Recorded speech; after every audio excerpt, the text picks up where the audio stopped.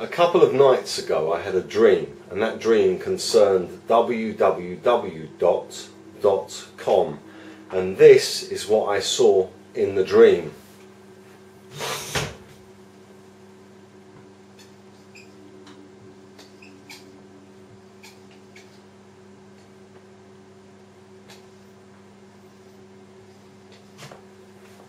And then I saw what it meant in the dream.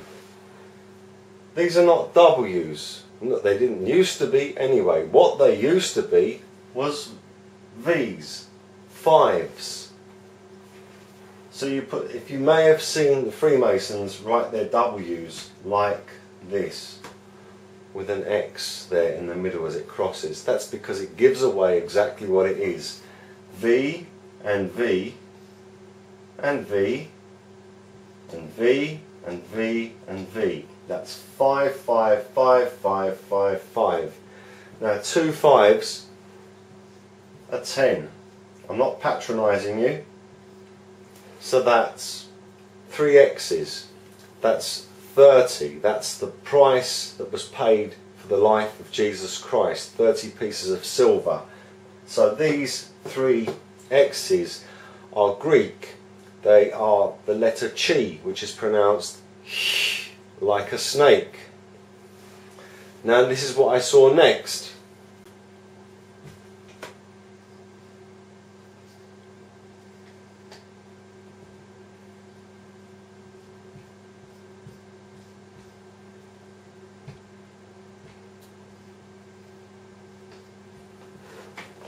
This is what I saw next the two dots. The two dots, in fact, are an ancient form of writing the number 6. And you can look it up for yourself in the Wikipedia and elsewhere under ancient numerics. So this here actually has a 6 at the end, which is the Greek letter sigma, the lowercase sigma. So pronounced in Greek, as this is the Greek H, the X is the Greek H, the chi, and that is the Greek S, the sigma. This says hiss, like a snake. Next, we get to the dot com. Once again, we have another sigma, a 6. So this now says hiss. And finally, the last part, the com. In Roman numerals, the C is 100. And then we have one more zero here.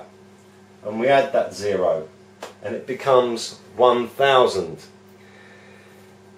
how you say 1000 in Greek is Helios.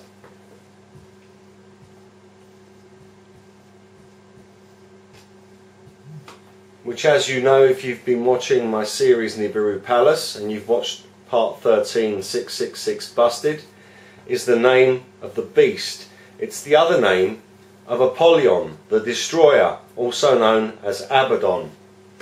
A thousand. Helios, the beast from the pit. And finally, the M. The M is a Roman numeric for 1000.